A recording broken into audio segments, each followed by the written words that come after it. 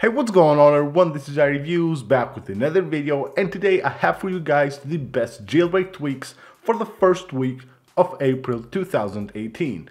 The first tweak for this video is called color my CC modules and it allows you to set a custom color for the control center modules. Now you will have to set a color for all of them, you cannot change the color, different color for different modules. So to do that, you need to go to the settings of this tweak, enable it right here. Just go here to choose color, pick any color that you want. And once you respring your device, you will have that effect on the control center of your iOS 11 device.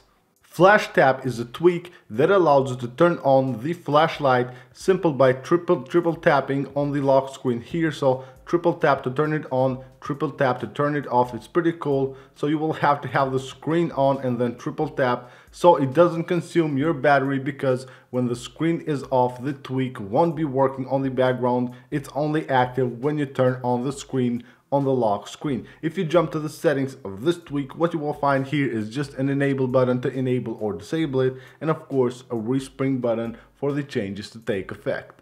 AV lock is a new tweak that will add an orientation button to the default video player on your iOS 11 device. So you can see I can go here to the landscape mode, but if I go to the controls, I have the lock right there. So you can see I can turn on the orientation lock so it won't go into the landscape mode. So anytime you're at the default video player, you have the orientation lock turned on, you want to go to landscape mode, you will have that button right there. It's really, really useful and very convenient.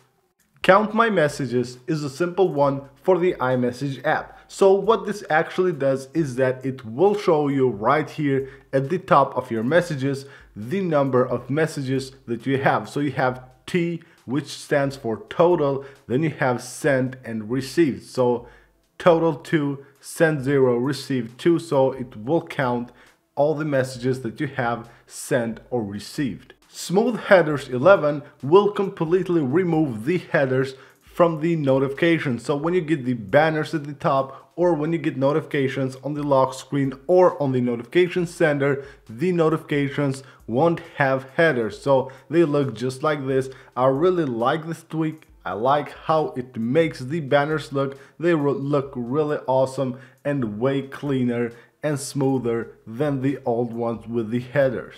So that is it for this video guys. I hope you guys enjoyed the tweaks. Don't forget to subscribe for more videos like this and also don't forget to follow me on my social media. You will find all the links in the description of the video.